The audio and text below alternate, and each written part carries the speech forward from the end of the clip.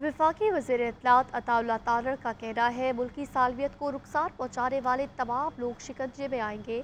आई S T R की press release के मुताबिक फैज हमीद के बाद मजीद तीन अफसरान को गिरफ़्तार किया गया है। फैज हमीद और बानी पी टी आई आपस में रबते में थे। अफसरान की गिरफ्तारियों के बाद मजीद शवाहिद सामने आ रहे हैं। इनके तमाम इकदाम मुल्क में अदम इसकाम लाने की कोशिश थी। लगता है मजीद गिरफ्तारियाँ भी अमल में लाई जाएँगी। बानी पी टी आई की मंशा से मुल्क में अदमी इसकाम फैलाया जा रहा था। अता तारड़ का कहना था कि वजी अजम जल्द कौम से खिताब करेंगे और पाँच साल मुआशी प्लान का ऐलान करेंगे। एक इदारे ने खुद एहतसाबी को फ़रोग देते हुए हुए एहतसाब का अमल शुरू किया।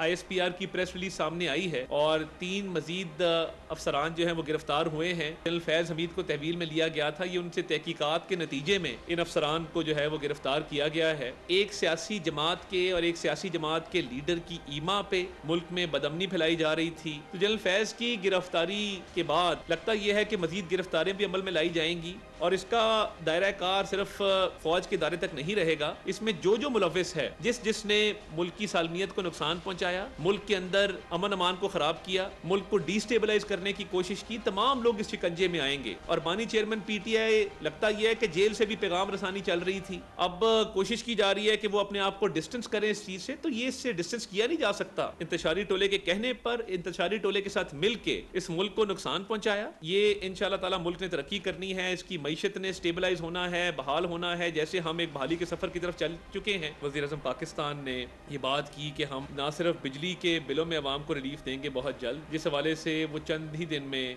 कौम से खिताब करेंगे।